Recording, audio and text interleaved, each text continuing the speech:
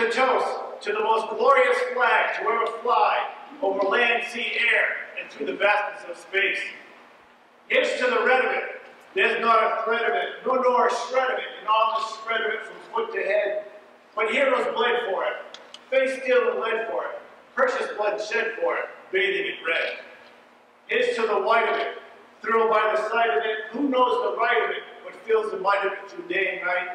Womanhood cared for it, made manhood dare for it, purity's prayer for it, keeps it so white.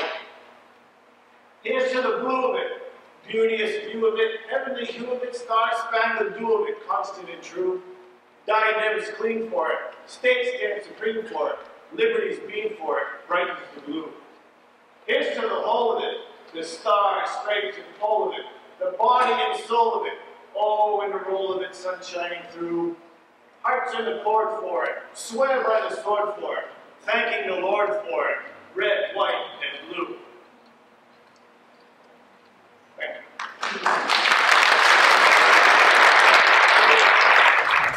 Well, mine's mostly linen, actually.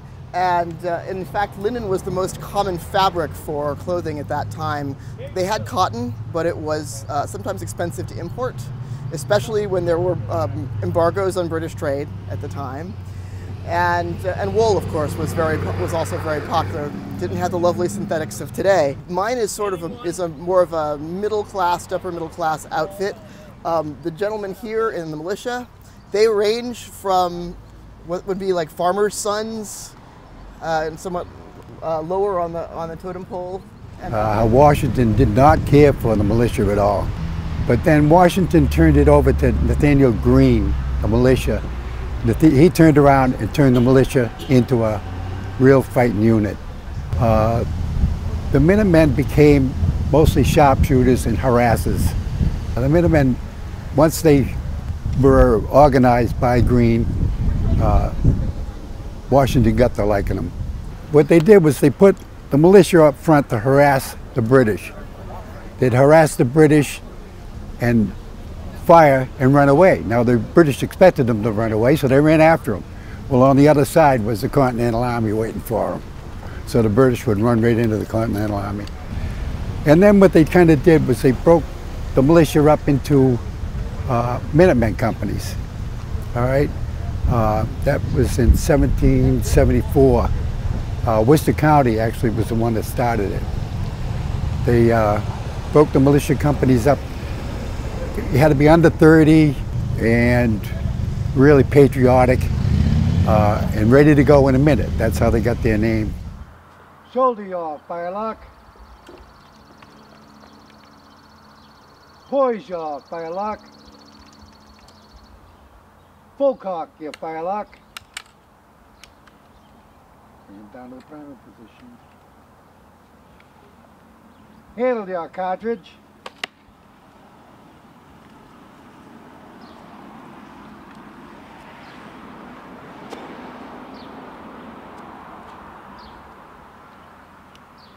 Prime your pan.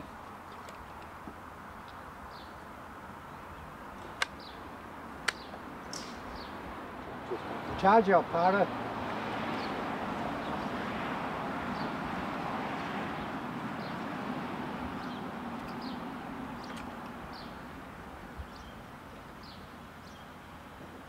Poise your firelock. Present. Fire. This is a Brown Bess ship's carbine, a short version of the Tower musket. It takes a bayonet and is 76 caliber. This man has a short land pattern Brown Bess musket. Note the difference in size. This one is made for taking into a ship's rigging. This one is for the land. Our companion here has an intermediate sized musket called the Ranger musket. Designed on advice of Rogers, of Rogers Rangers. He is replacing his flint.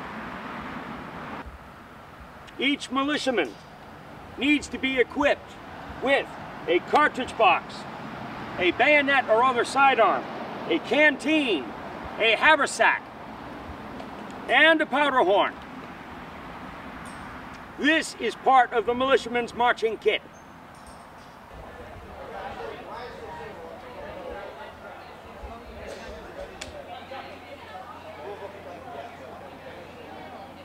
Powder down the barrels.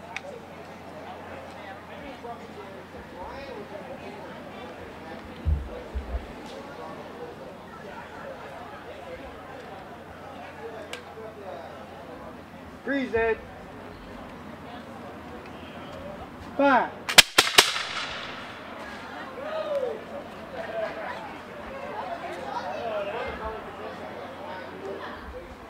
Poise your firelock.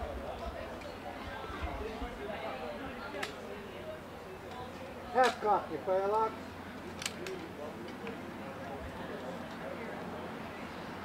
Full cock firelock.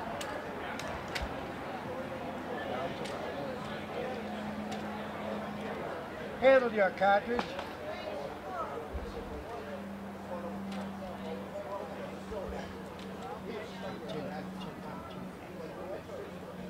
Prime your pan.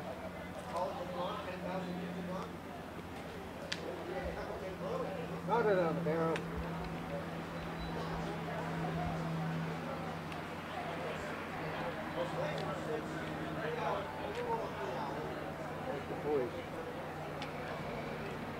Reset. Fire.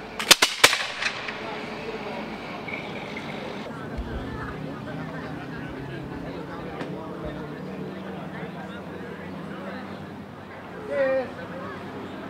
Thank you, sir.